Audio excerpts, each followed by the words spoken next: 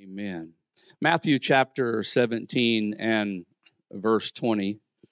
It's a very familiar passage. All of you have, I'm sure, heard of it. But Jesus is talking to his disciples, and what we find here is that the disciples had not yet been able to experience the supernatural. They had seen Jesus do it, but they had never been able to on their own. And so they, they tried and they failed, they come short. And so they came to Jesus and basically, paraphrasing, they said, Why can't we do what you do? You know, we see you've got all power and we believe you can do anything, but why can't we do that? And he had a very simple solution for them. He said, It because of your unbelief, for verily I say unto you, if, everybody say if, little word, big, big meaning. If ye have faith as a grain of mustard seed, ye shall say unto this mountain, Remove hence to yonder place, and it shall remove. And then he says this, and nothing, say it with me, and nothing shall be impossible unto you. Amen. What if that were true?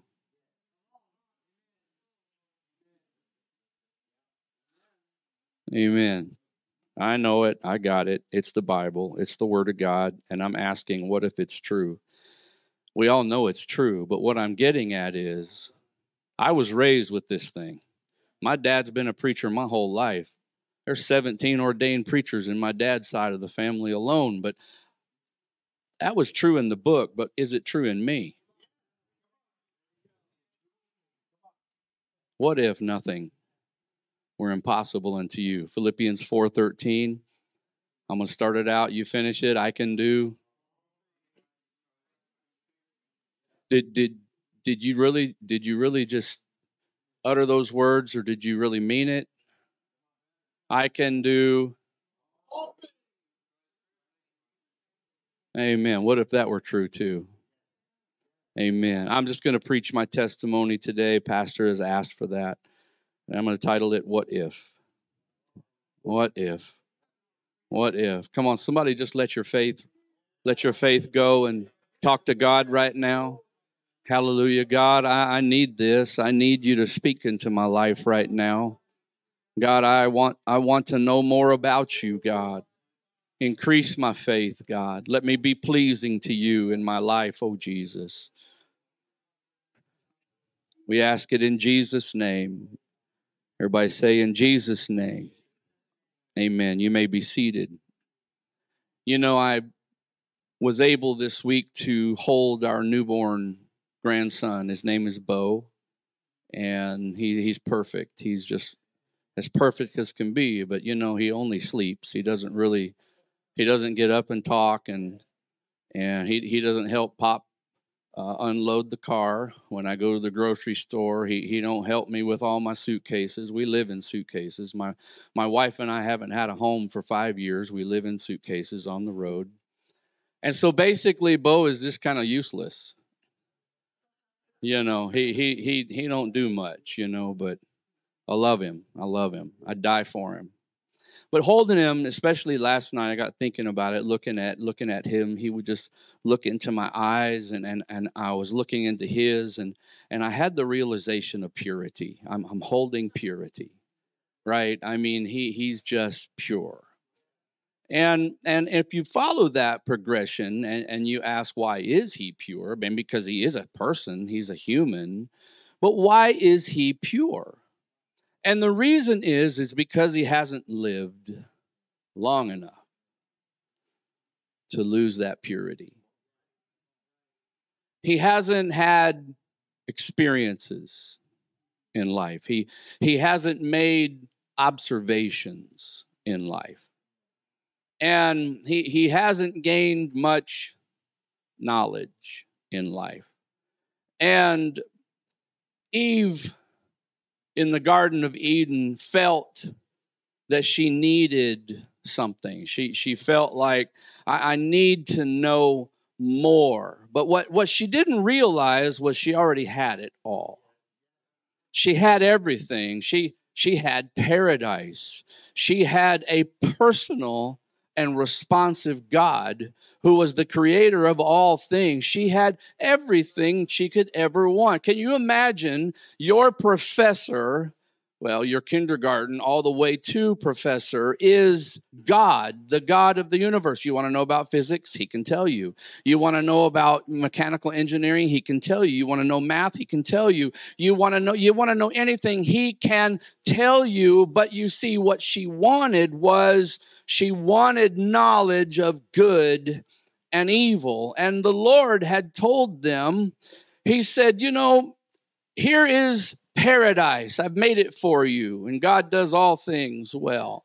And he told them, he said, now your job is to to to watch over this this whole place in fact the earth has been given to you you now have dominion and so you are supposed to tend to the garden you are supposed to manage the garden now now uh, God didn't tell Adam, don't touch of the, the tree, right? The, the serpent said, he changed it. He said, don't touch. That's not what God said. God said, manage it. It's all your job. But he said, he said, just don't eat of it. And so, what we find with the tree of knowledge of good and evil was that God said, just don't internalize it. You have to know how to manage it. You have to know how to tend to it. Don't ignore it. Don't ignore good and evil. Don't be ignorant of what's going on in the world because, you know, stuff happens in the world. And, and, and as you live, you walk out these doors, you're going to see some things and you might even have a flat tire on your way home. There, there are things that happen to you, but what you need to know is don't internalize it the disciples, they came to Jesus and they said, Why can't we enter into the supernatural? We want to see a miracle, not just you, but we want to see it through us. And Jesus said, Because of your unbelief, or another version says, your lack of faith. And then he said, If you, everybody say you, meaning me, will speak to that mountain when I was a kid growing up, one of you kids sitting there on the front row, I used to think that verse meant that I could go to, say, Mount Rainier or Mount Shasta or Mount Everest. And if I had enough faith, I could make that mountain move. And another version says it'll throw into the sea. I was like, I'd love to see that. How many of you would love to throw a mountain into the ocean? I'd surf that wave. That's not what he's talking about. What's he talking about? He said, Because of your unbelief, he said, That is your mountain. That is your mountain. And another place, Jesus is talking. He loved to talk with children sitting on, on his knee or children gathered around him. And I believe that it grounded him because he said, unless you be converted, converted means you turn around, huh? Converted means you're going this way, but you just turn around. He said, unless you be converted and become as one of these, my little children, you will not enter hmm. into the kingdom of heaven. Now, Jesus didn't preach this plan of salvation. He gave the keys to Peter in Acts chapter 2 in verse 38. Peter stood up with the keys and he said, Repent and be baptized, every one of you, in the name of Jesus for the remission of your sins, and ye shall receive the gift of the Holy Ghost. That is the plan of salvation. But the mentality of salvation is you've got to be converted and be as a child. And so when you look at that and you say, God, I have spent a lot of energy, a lot of time. I've gone to school. I've read a lot of books. I've learned a lot of things. Are you telling me there is no value in that? And the Lord would say, no, don't be ignorant. You've got to learn things. There ain't nothing wrong with school, but don't internalize it. When God created Adam and Eve, he breathed into them the breath of life. That's what's supposed to be inside of us. Hallelujah. When you take what's in the world and you lose what God put in you, which is His Spirit, and you replace it with all the junk, it don't matter, good, bad, whatever. It doesn't matter, just things that happen in life. You begin to crowd out. There's no room for the Spirit of God anymore. And as you live, good and evil begin to pile up inside of you. Man, I've learned some things in life. When I was a baby, I didn't know anything about cancer. I know a lot about it now. I've learned a lot. I've seen a lot. You know, not everything you learn in life helps you. But sometimes you can't, you don't have any choice. You're going to learn anyway. Right? Things happen. It rains on the the just and the unjust. It, it happens. And so I began to learn some things in life. And as I began to learn, I lost something. What I lost is, you know what a child has? A child don't have knowledge, they don't have experience, they, they, they don't have a lot of logical processes going on inside their head. But do you know what they have? They have an imagination. You can stand there in front of a little child. We've got a two year old grandson too. I can stand there in front of him and I'm convinced I can tell that little two year old anything I want and he'll believe it. And the reason is, is not because now we're not, we're not playing upon his ignorance. What we're talking about, we're magnifying his imagination. The fact that he is able to believe and we're not because we've seen things. Huh? I've seen things. And I looked at my little grandson and I said, Man, I, I wish I could, I, I, w- I wish I could just wipe it away sometimes. I, I wish I could clear my, I, I, I've, I've been betrayed. I've had leaders betray me. I've had men of God betray me. I've had people in church that I pastored, that I gave my life to, to stab me in the back. I wish I could forget that stuff, but I can't. But what I got to do is I got to be converted and be as a child again. And so what do you do? If if if you want to be converted and be as a child, that doesn't mean that you get short again. That doesn't mean that all you want to do is eat chicken nuggets and french fries again. Somebody says, Well, I must be a child. That doesn't mean that you don't know anything anymore. That no, it doesn't mean that. It means that you don't lose your sense of wonder. That you don't come into the presence of God and look around and say, "Hey, anything could happen." Oh, yeah, he's the God of the universe. Praise God. It means that when you read the book, you actually believe it could happen. Hallelujah. I'm tired of reading the book with a grown up mind and saying the Red Sea only parted back then. Why can't God do it today? Come on, you a little bit too grown up in here. Somebody needs to be converted and get your sense of wonder again. We still serve the same God that parted the Red Sea. He raises the dead. We always think that what we need is more knowledge. Man, I'd, I'd teach a Bible study if only I knew more about whatever. Huh? We limit ourselves because we think we need more when Jesus is telling his disciples, you actually need less.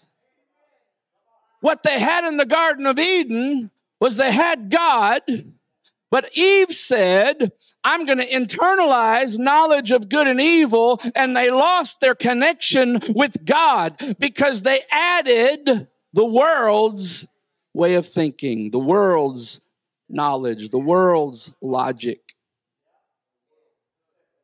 Okay, can I can I just be real with you guys? I lost my ability to fake it when I was in a hospital and they said it's over. I'm like, you know what? Why? Why? Why? Why are we going to sit here and just fool one another and play games and play church and get up here and just try to look good, try to impress somebody? I didn't know nothing about cancer till my mother and my, my father-in-law. They called us one day. It was a Sunday. He's a great man of God. They were all stirred up because after church Sunday morning, he went home and he was hanging his trousers up in his closet, just hanging them up, literally just doing this, and that arm broke. It just broke. The bone broke. It cracked loud. She, my mother-in-law could hear it in the other room. She come in and he's in horrible pain. She's like, "What happened?" He said, and his arm just dangling. My arm broke. What'd you do? Fall? No, I was hanging up my pants. The doctor said it's multiple myeloma. There's been a tumor eating away at that bone. They said now that now we know why you'd had that anemia and all those issues that we just couldn't figure out what was going on. It was this. They said you got six months to live. Man, we went to prayer. I learned some stuff. I've seen some things in my life. I've seen good and I've seen evil. Four and a half years. It, wasn't six months, it was four and a half years. He never missed a day of work. He was a contractor. But he finally, on a Tuesday, breathed his last. I'm telling you, my mom, my wife was lost. She's a she's a daddy's girl. She's like, this ain't supposed to happen to people like him. He's a man of God. He built he built the church out in Stockton, California with Brother Haney. He was the contractor that built that. He was his partner in business, and he was always the head usher everywhere he was. He was he was a pastor's friend. Why is that? Why is that criminal? 70 years old and healthy. And my dad dies at 56, and he's a man of God. It was an experience.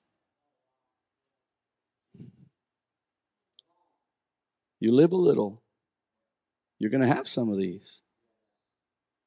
And so my wife, she she was lost for a period of time, and I'm not talking lost in sin, but just she didn't know where she was. She had no spatial uh, awareness. She would show up at the church, and and people in the church would come to me, and they'd knock on my office door, and they'd say, "Sister Brenda's out in the parking lot." I go out there. She's out there. She's just looking, st- staring straight into space. I'd knock on the window. What are you doing here? She said, I have no idea why, how I'm here. I don't even remember driving here. It was like that because sometimes life just comes at you and you're not a child anymore and you lose your innocence and you begin to experience things.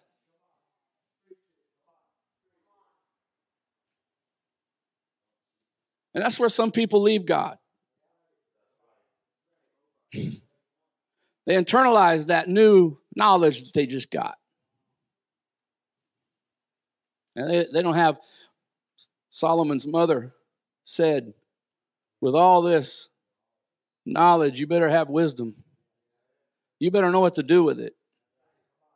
Because all this knowledge, you can go to college, you can learn a lot of things, you can lose your soul because you don't have wisdom. You don't know what to do with this knowledge you're learning. Few years later, her dad, her mom got cancer. And uh, we prayed. You know, we prayed different because we had knowledge. Life will change you. But don't forget to be converted.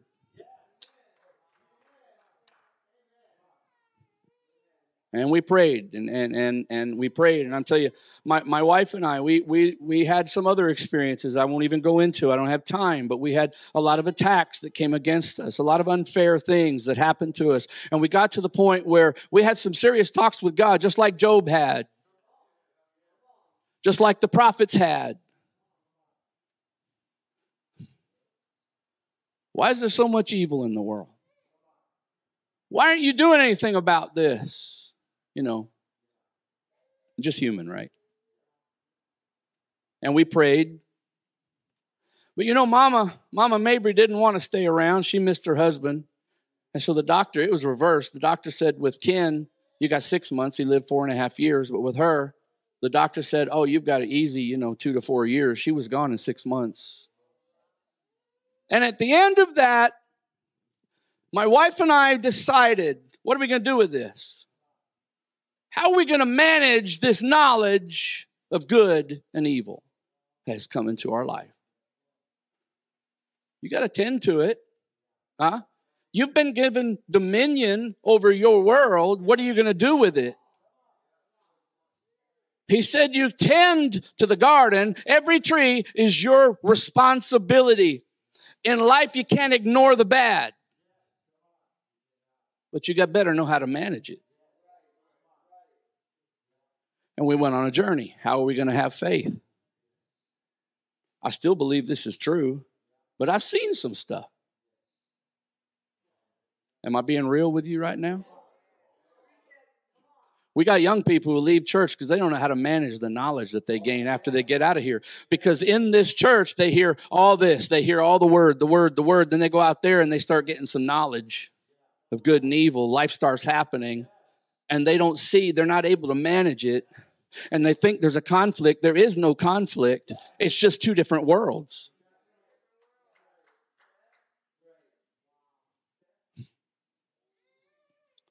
And so it was a Friday, it was a Friday night. My wife and I had had dinner. I love my wife. We have dates. We've been married 30 uh, she's not here, so I don't know how many years. 32 years. Don't tell nobody. Everything was great. Saturday morning, we woke up. My wife looked at me with shock. She said, Jeff, what is that? I was I had no idea what she's talking about. She pointed here. I touched here and there was a knot, like a large lump. Overnight, it had appeared and it was hard. It was like a goose egg under there. We went to the doctor and the doctor said, Well, good news. You know, whenever the lump shows up, everybody thinks cancer. He said it can't be cancer. Cancer don't grow overnight. He was wrong. The biopsy came back. He called me ear, nose, and throat doctor. He said, Well, you won't be seeing me anymore. He said, You better go find somebody that knows something about this rare cancer you've got. And I said, What do you mean? He said, Yeah, it's, it's some kind of lymphoma, but it's rare. It's called mantle cell. He hung up, never talked to him again. Now what? Now what? I got knowledge, I've got experience.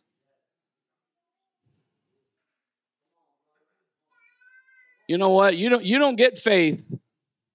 You don't get faith when everything's good. Where you find your faith is in a storm. It's in the valley. Huh? You find your faith when there is no hope. That's faith.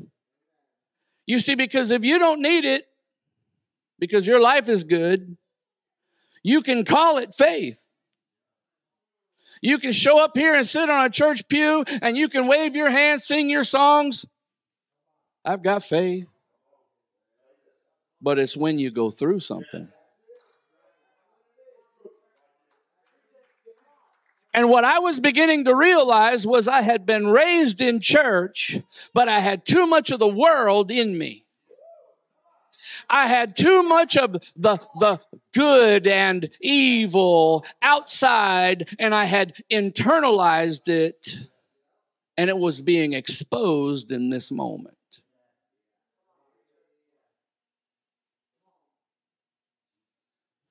So we were living on Maui, Hawaii at the time, pastoring a church, and the doctor there said, Get off this island as fast as you can. Nobody here knows what to do with this disease. And so God led us. That's the interesting thing. Whenever you go through these journeys, I don't care how dark you know what you find?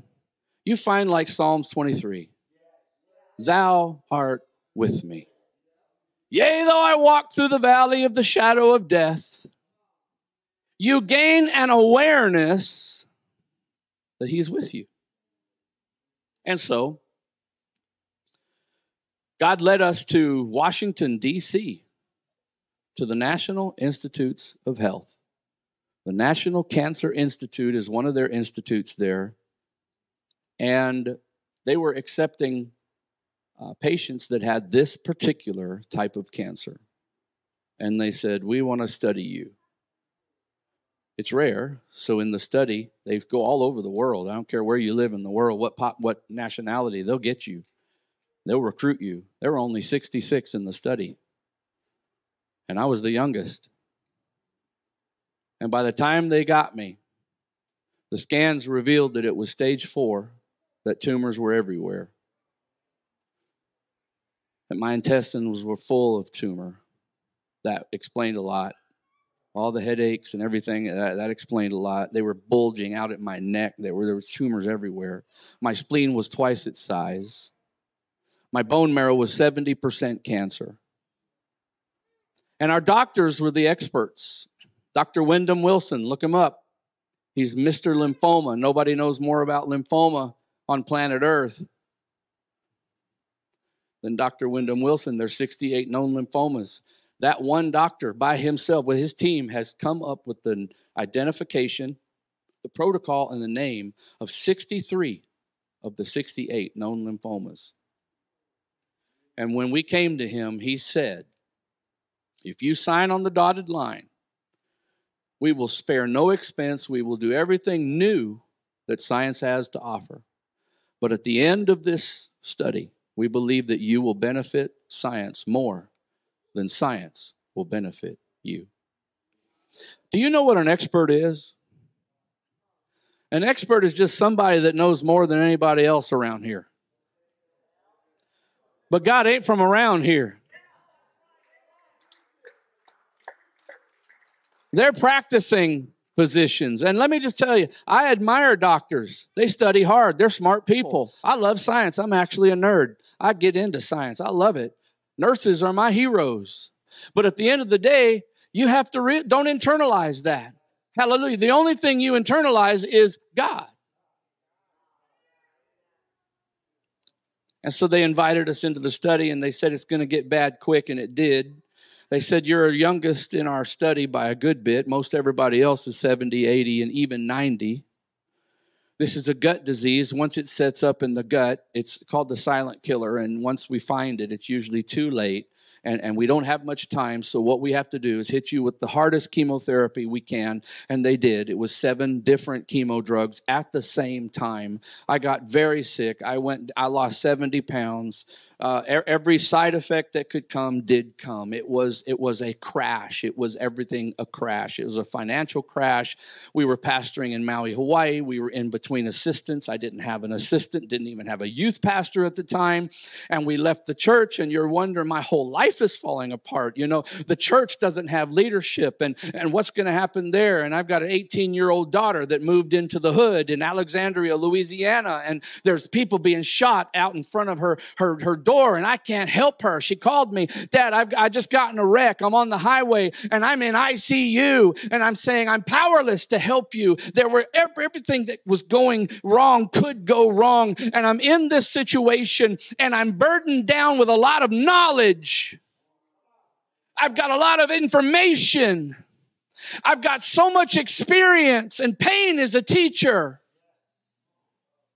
And I'm in agony during the third cycle of chemotherapy, my colon ruptured. Went into emergency surgery. I came out with an ostomy bag. They cut 30 inches of my colon out because it was just totally destroyed with disease. I'm in that hospital nine months at one stretch, got to go home. Listen, three nights I slept in my own bed out of nine months. And my wife, my dear wife, never left my side. She slept on chairs, not even as comfortable as these, for months on end. And we're in that situation and we're in a battle. Because the battle is not the cancer. The battle is not in your body. The battle is not in your marriage. The battle is not in your finances. The battle is in your mind. Because Jesus said, if you had faith as a grain of mustard seed, you would say to this mountain, what is it? That mountain of knowledge, that mountain of experience that has piled up and has created an impossible barrier of doubt between you and the supernatural.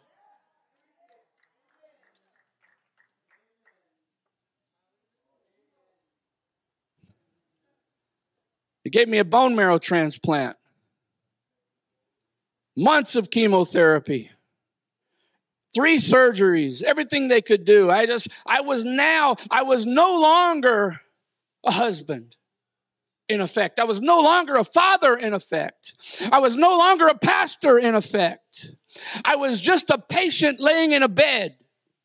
That was my new normal. And here I am in this situation, and I'm beginning to wonder God, all them dreams that you gave me, was that just for, was that just a cruel joke?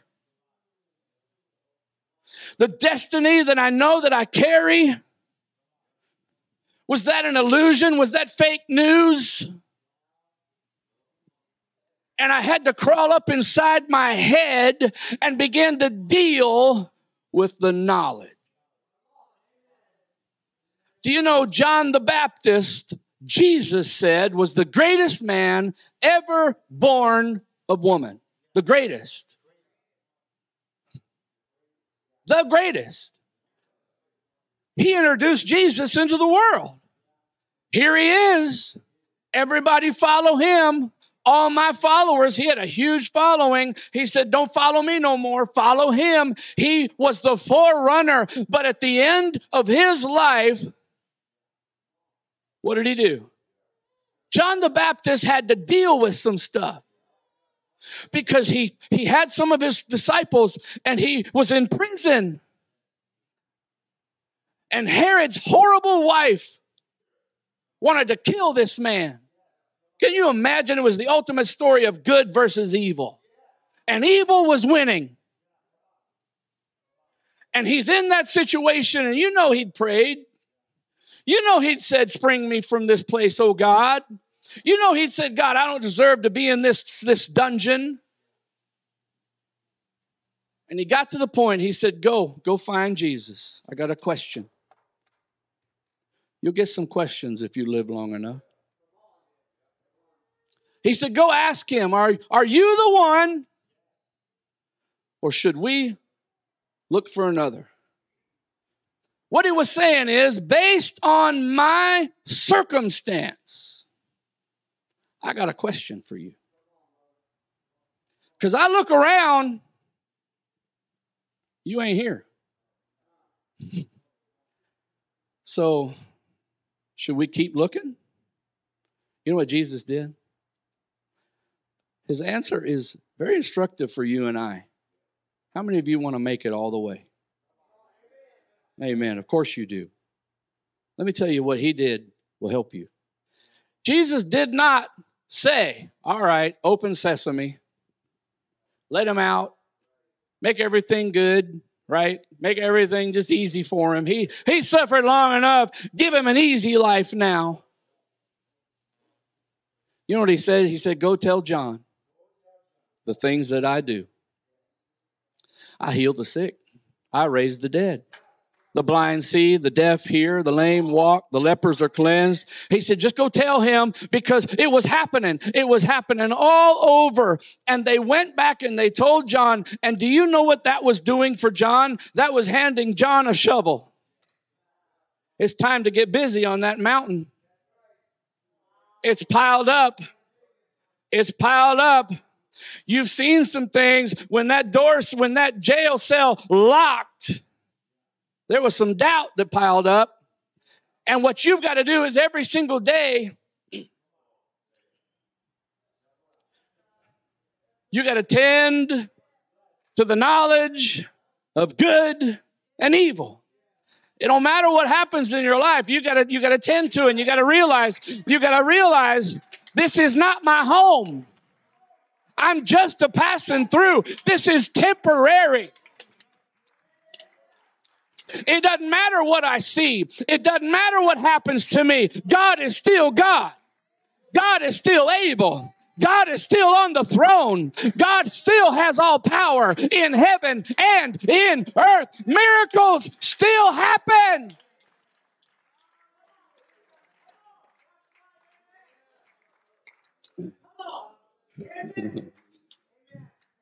Okay, but I, I, didn't know. I didn't know how to speak to that mountain.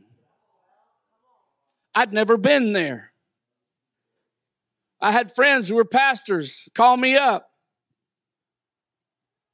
They hadn't called me for a while and they admitted why. We don't know what to say. We never been where you are. I didn't know what to say either, so I didn't feel bad for them. I know how to live when everything's good. You just get on automatic pilot, right? You just get up in the morning, you brush your teeth. It's just automatic what you do when everything's good.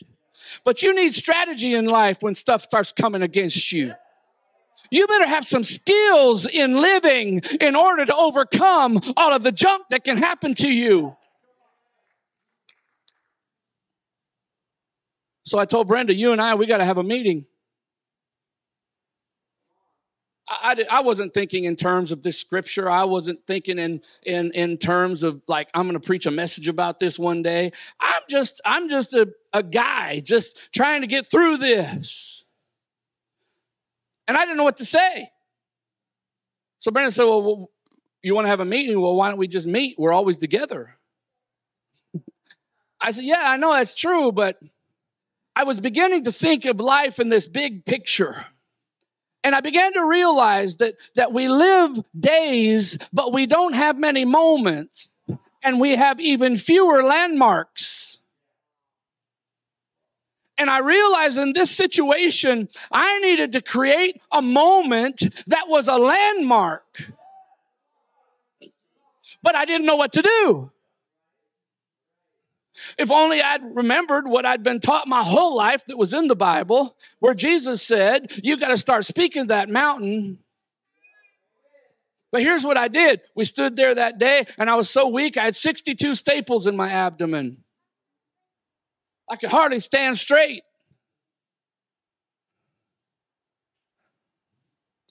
I looked at my wife, and here's what came out I said, What if the doctors are wrong? Oh man, was that ever? I am in the NIH. I am in the National Cancer Institute with Dr. Wyndham Wilson, and my life is winding down according to him. My wife had already said goodbye to me one time. She already thought it's over. You've been a good husband. I was saying goodbye to her. Life was leaving me, but I just wouldn't die. Don't give up before God does. Don't quit before God throws in the towel. And I want you to know that my God is the author and the finisher of your faith. He is not going to throw in the towel. I said, What if the doctors are wrong? What if the best is yet to come? What if we will see the million soul revival in the Philippines? What if we're going to live our dreams? Hallelujah. What if I'm going to get a new anointing? I just started saying a whole bunch of what if. And you know, that's what I needed. Because I was trying to have faith without having what faith is made of. Do you know what faith is made of? Anybody? Anybody know what faith is made of? It says it in the book. Where uh, Hebrews chapter 11, verse 1. Now faith is the substance of hope for the evidence of things not seen. Okay, so my answer is not everything I have seen. It's something I hadn't seen yet. I haven't seen this before. I haven't seen this height before. I haven't seen a miracle like this before. Hallelujah. But I've got to have hope.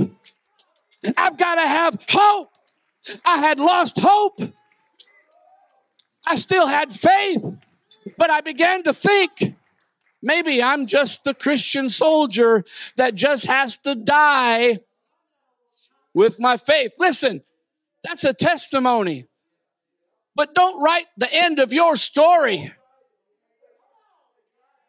Let him do it. What if he don't want you to die with that? Yeah, I know what you're saying. I know what you're saying. I'm human too. I got the same knowledge and information and experience you do. Oh, but I've seen somebody. Oh, I've seen what happened in their life. Come on, somebody. You got to move that out of the way. My God is still sitting. Hallelujah. He's tapping his foot on the circle of the earth. Hallelujah. Up in heaven, there are angels that are circling the throne, and day and night, they're saying, Holy, holy, holy. Come on. Glory to God. I told Brenda, I said, if I don't have to die in this hospital, I'm going to make some changes. I'm not going to waste this time of suffering. I'm not just going to be that guy that belly aches and has a pity party and's negative and critical all the time. No, I'm going to get something out of this.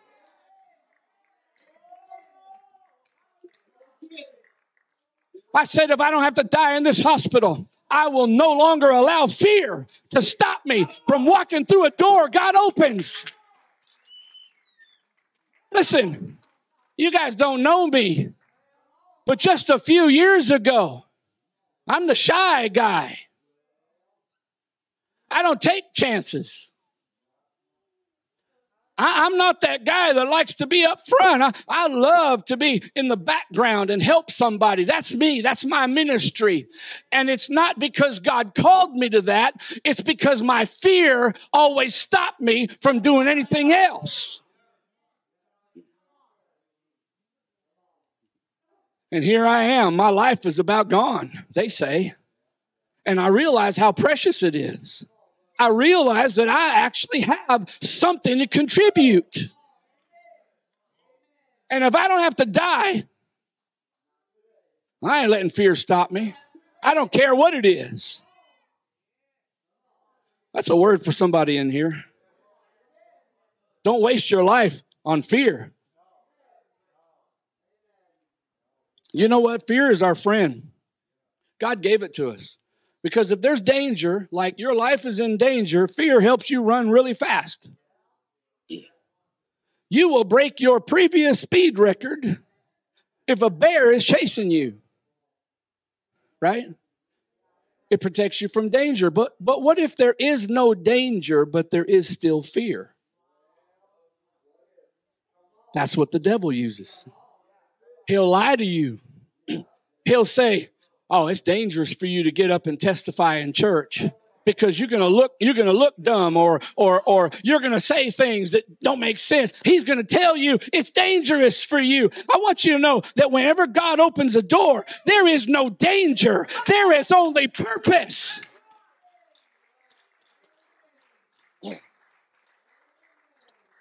You know what? Okay hope you can be seated. I'm going to try to wrap it up here do you know that hope Listen, hope.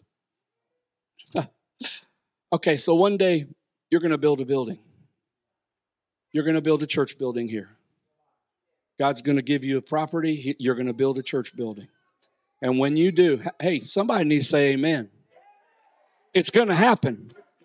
Don't tell me you've lived so long that you lost your imagination. We don't need people that come in here and bring your baggage from the past and say it ain't possible because we tried and it didn't happen. You need to be like a child again. You need to go through a conversion process and say, God is able.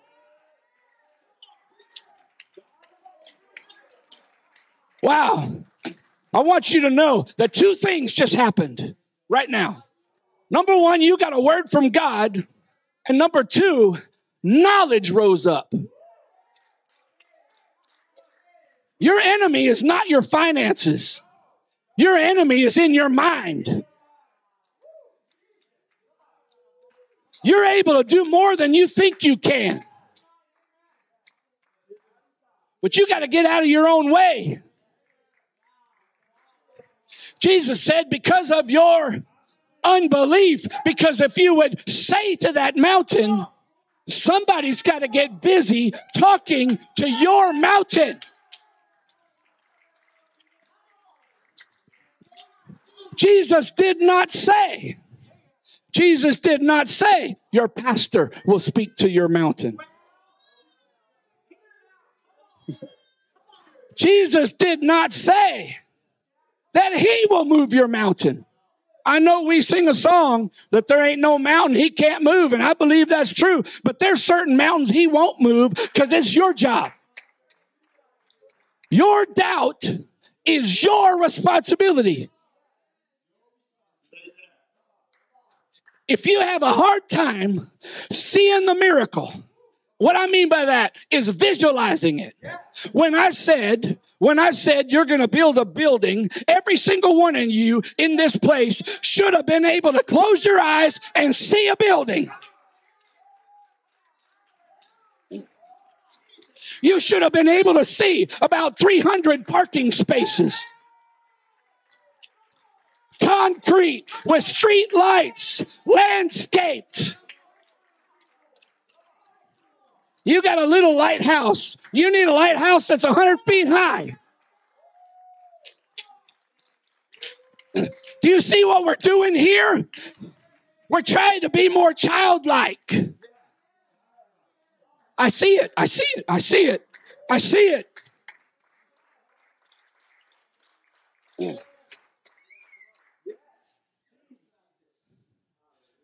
But when that happens, you're going to go get a contractor. I know it. God, God will give you God will give you grace. Amen. It's going to happen. It's going to happen. It's going to happen. You're going to go to a contractor. You're going to show them a blueprint. You're going to say, "This is my vision. It's on paper now. This vision has been in my heart for a long time, but this vision is finally down on paper." And that contractor is going to look at it. he's going to say, Either he can or he can't. If he's good, he'll say, Yeah, I can build that. Yes, I can bring your dream into this world. But he ain't telling the whole truth because I don't care how good that contractor is. That contractor don't have drywall in his back pocket. He don't have carpet on his shoulder.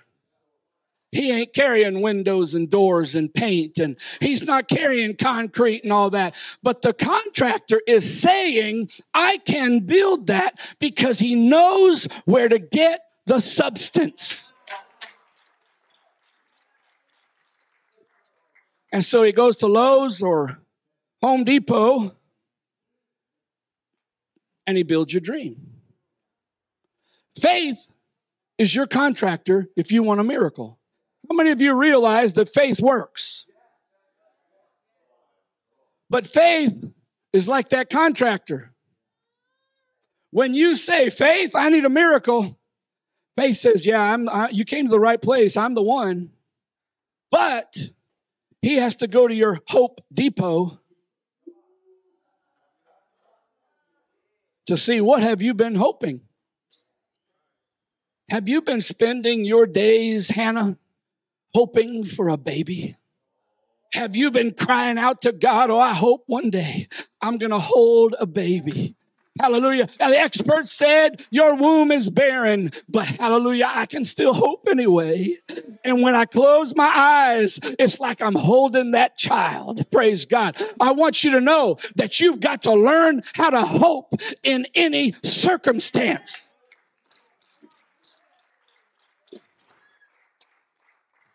Hope, hope and the uh, hope and fear are the exact same thing.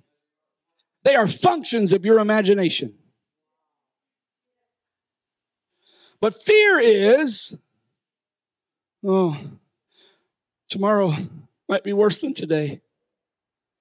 You don't know. You don't know tomorrow. But fear will grab your imagination and it'll run that, that direction. But hope is different. You get up in the morning, you still don't know. But if you have hope, you grab hold of the steering wheel of your mind, your imagination, and you turn it. Hey, wait a minute. I know that God is for me. I know that my God wants good things for me. Hallelujah. I don't care what kind of things you've seen in your life, in your past. I don't care, Hannah, how many times that you have felt that you're going to have a baby and you still don't. You can still hope. And you grab a hold of your mind and you turn it towards good. Maybe tomorrow's good. Maybe today's going to be better than yesterday.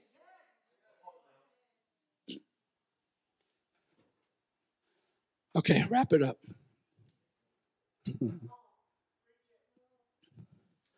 It got worse. After I had that declaration with my wife, my body got worse.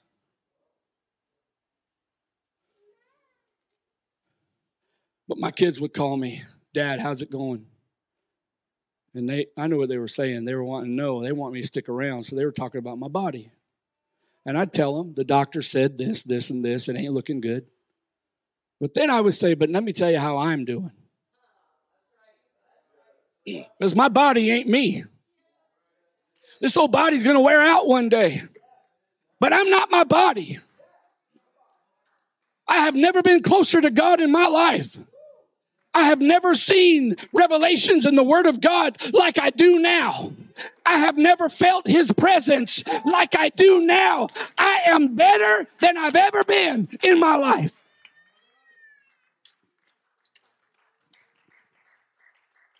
Well, the doctors gave up after two years. After two years in a hospital, far from home, they said it's over. We've tried everything. Everything. And I know they had because I was there when they did it.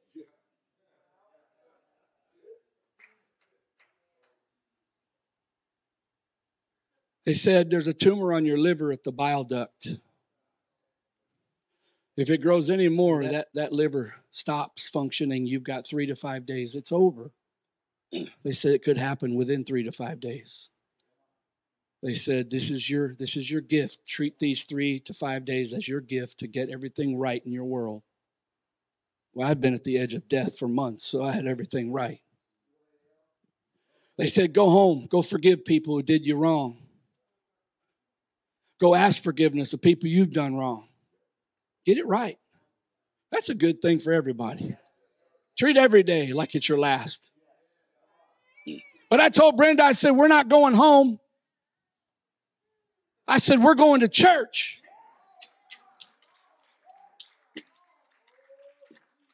Logic, logic would assemble all of my experience, what I saw happen to Mom Mabry, what I saw happen to Dad Mabry, what I've seen happen to other people, and collect it. And logic will spit out an answer. I know that.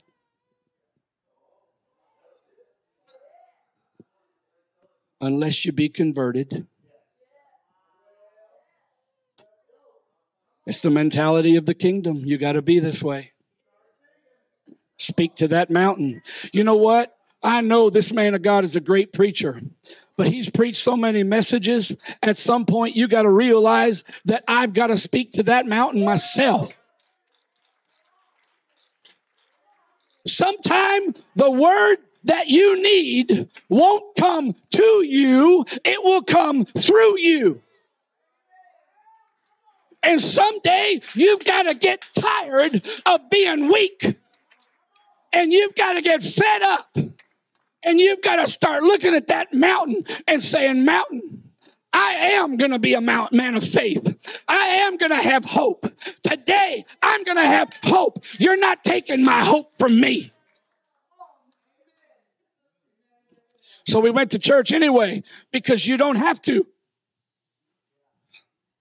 For we walk by faith and not by observation, knowledge, experience, sight. You know what? People who have great faith in God, it's not that they're ignorant of the world. We live in the same world as everybody else, but we've just decided God's in me, not the world. This all happens around me.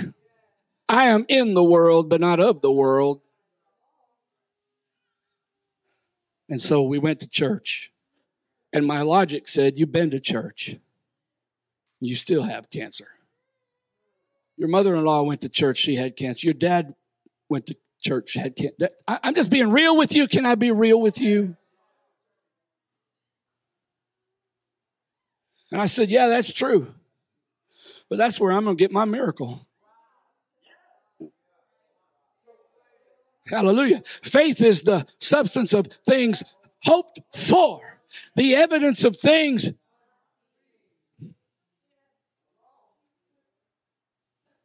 We went to church. It was the first day of a revival. Hallelujah. It was a big old church. They let me sit on the platform, kind of like a make a wish thing. Well, it's over. Let them sit. No, I'm just kidding. I'm just kidding. I'm just kidding. No, but they did let me sit on the platform. And I'm standing up there. I'm so weak. And the doctors, the experts, all of them had just said it's over. After a long illness. When everything they said was going to happen came to pass. But what if they're wrong? Hallelujah. Hallelujah. I don't know what's been spoken over this church. I'm here for the first time, but there have been some words spoken over, over you that have torn you down. It is time for you to become the exact opposite of those words. It's time for somebody to find inside of you, hallelujah, something that you have never seen. This, I want you to know God has something prepared for this church that none of you have seen not even in your dreams. Now unto him who is able to do exceeding abundantly above all that you can even ask or think. Come on, somebody clap your hand. We got to break through something here right now. Come on, clap your hands.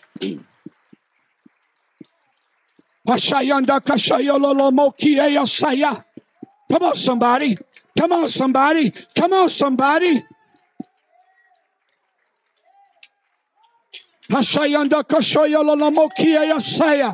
Hallelujah. Let Souls Harbor be a place of dreams and vision. Let release the imagination in this place.